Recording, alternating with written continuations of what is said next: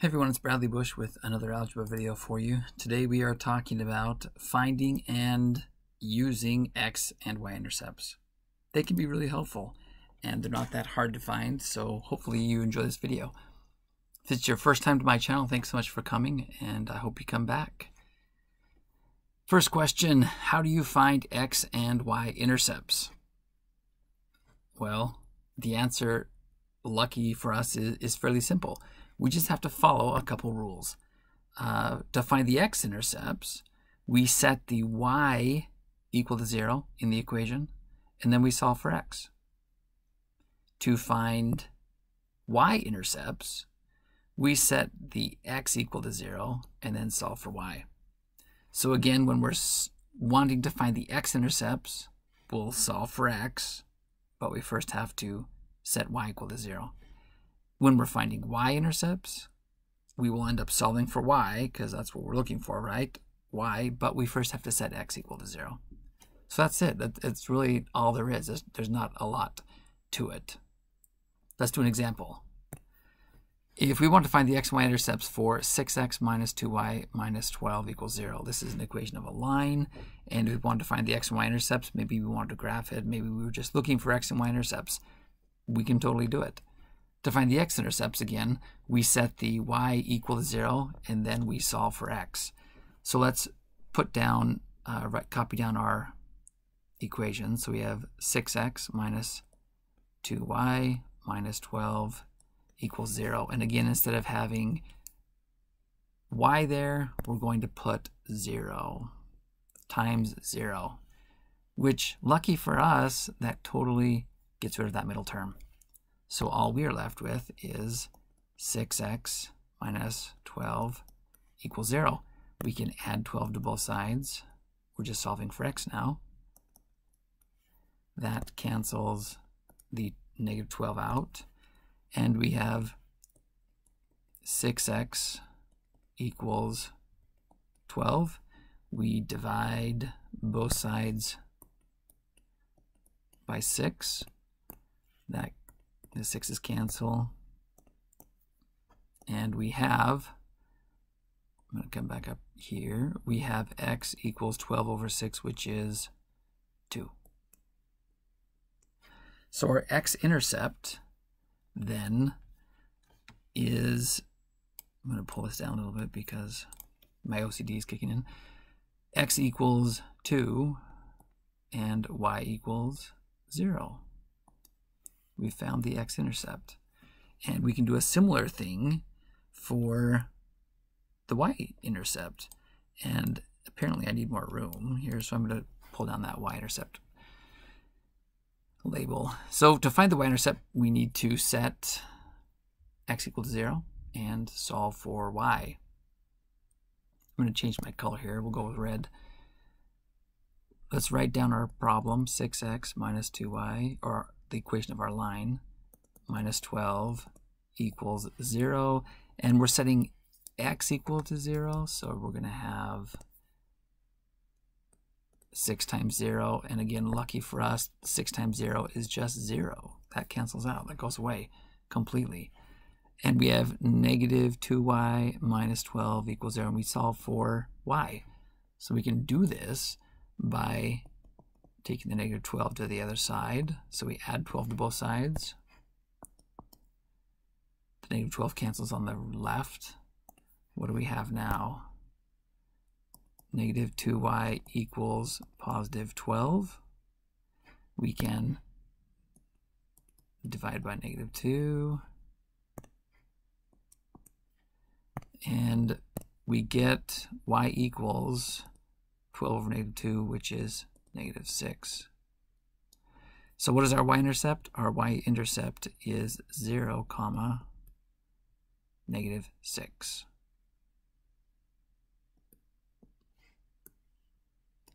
So we've found the x and y-intercept for this function, this, uh, this, the equation of this line. It's really not that bad, right? To find the x-intercept, we set y equal to 0 and solve for x. To find the y-intercept, we set x equal to 0 and solve for y. Do one more problem. just to solidify things. Uh, and this time we're going to use the x-intercepts to do something. So a common thing to do with our x-intercepts is to use them to help us graph something. So say we have a function uh, f of x equals negative 3 halves x plus 2, and we wanted to find the x-intercepts and use that to help us graph. Um, there are other ways of doing this problem, but for illustration purposes, we're just going to we're going to use the x and y intercepts. Before we do that, though, let's do a little bit of rewriting. This f, we're going to change that to y. We have y equals negative 3 halves x plus 2. And I'm going to get rid of the 2 in the denominator. I'm just going to get rid of the fractions just because I, I prefer to deal, not deal with them. This is how I'm going to do it. I'm going to multiply everything in the equation, left and right sides, by 2. And that'll end up getting rid of that, that uh, denominator. So I have 2 times y, which gives me 2y. And I have equals, and I have a negative of 3 halves x, and this is multiplied also by 2. And then I have 2 times 2. The 2 times 2 is 4. The 2's cancel in the x term, which leaves me just with negative 3x. And I have equals 2y. So there is my equation that I'm going to use. Let's put that down here, and we can start solving for our x-intercept. So I have 2y equals negative 3x plus 4. So we're going to set y equal to 0. So the y goes away, and I put 0 in for y. That gets rid of this term, because it all goes to 2 times 0 is 0. So we have 0 equals negative 3x plus 4. Now, I need to get rid of that 4, so I'm going to subtract 4 on both sides. And that leaves me with negative 4 equals negative 3x. I can divide both sides by negative 3. And the negatives cancel. And I get, and the negative 3, can, negative 3, negative 3 cancels as well. And I get x equals 4 thirds. So my intercept is 4 thirds for the x and 0 for the y.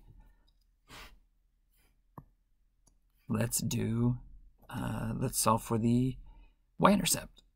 So let, let's write down our problem. So we have y equals, sorry, 2y equals uh, negative 3x plus 4 and I'm setting x equal to 0, so the x, whoops, the x goes away, and I'm multiplying by 0. That whole term drops out, and I get 2y. This one looks like it's going to be much easier, right? I get 2y equals 4. I can divide by 2.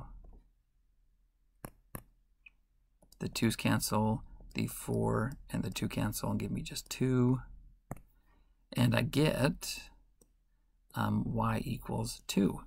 So my y-intercept then is 0, comma 2. Now let's put those on our graph. So our y-intercept is 0, 2, so that's right here, and I have 0, comma 2 for my y-intercept, and my x-intercept is 4 thirds and 0.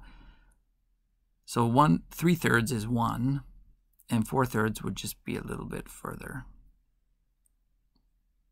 So this is four thirds and zero. And I'm going to make this red. Now, all we have to do to graph is just connect the dot. So if we have a ruler to help us,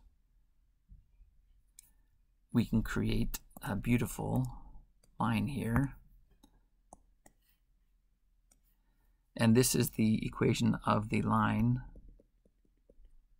f of x equals negative 3 halves x plus 2. So we can find equations, um, find we can graph equations using the x-intercepts. We can find x and y-intercepts by setting the opposite variable equal to 0 and solving for the variable we want. Hope this was helpful and have a good day.